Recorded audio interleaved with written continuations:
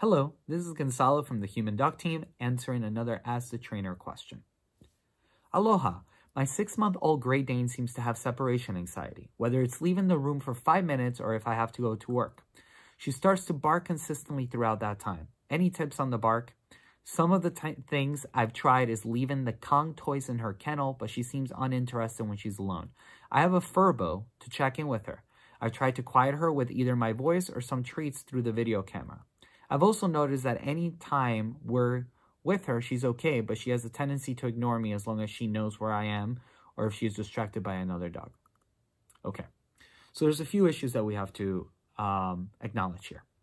Number one, whether it's that you're training a dog to be in a crate or that you're training a dog to be um, just in a in a bed or in a place command, I call it a place command. Usually I use an elevated bed.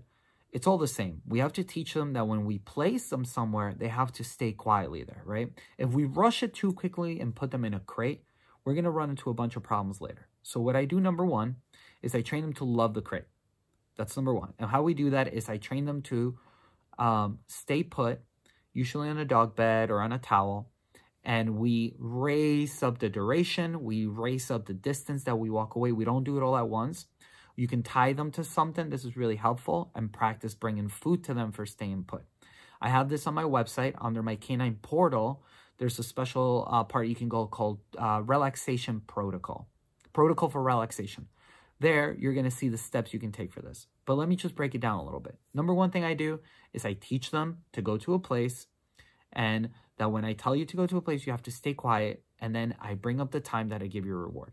Next thing that I do is I throw rewards inside of a crate. I don't close them in it. I throw them inside. I throw treats inside or kibble in this case. I like using kibble a lot more than treats. The dog goes in, eats it, right? I don't close them in. The dog comes out. I act very, very boring. I don't move too much. I don't say anything. I drop food inside the crate. They go back in, right? Next thing I do is I put a toy or something that they love to chew on, something that's really tasty, and I close the door. I don't lock it. I just close it, and I teach them that it's okay for a minute if it closes, right? And that's it. I open it and close it and ask them to go in and out, right? That's the best way to train them.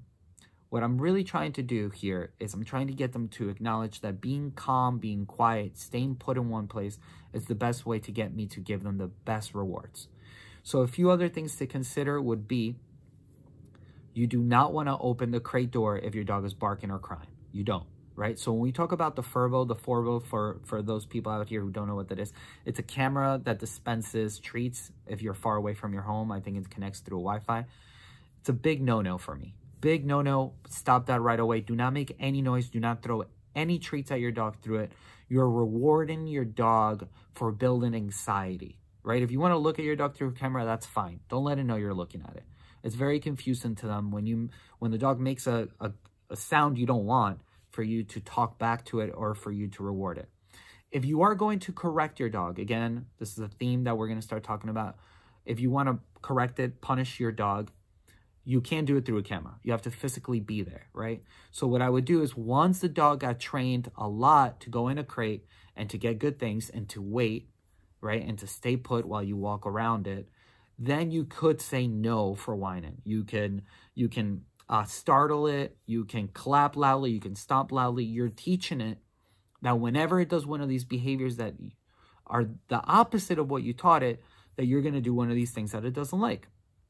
That's a great way to go about it. Now, there's some people that don't have time to tr crate train a dog, and I hear this a lot. I know a lot of trainers won't approve of this, but it's completely okay to just put a dog in a crate and teach them, right, that they have to stay quietly while you stay right there next to them before you open the door. So that's pretty much the last step and the most important step, which is do not open the door unless your dog is sitting calmly waiting for you. If you open the door anytime the dog gets excited and cries, it learns that the best way and the quickest way to get you to open the door is by crying. So I know that's a lot of stuff to think about.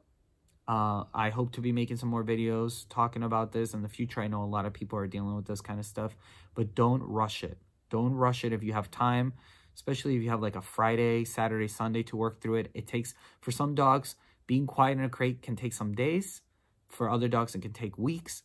But really want to what you want to do is separate both. Separate what you do like. So we practice staying quiet in one place as you move away from distance. And you also want to practice what a no means, right? So if a dog goes to jump on you, you say no, you startle it, you tell it to go away. And they learn like, oh, no means don't do this. So you apply that first, and then you teach that no means the same thing in a crate. In a crate. I hope that makes sense. Uh, feel free to ask me any questions below, and I look forward to hearing and seeing what has helped you and what hasn't. Thank you.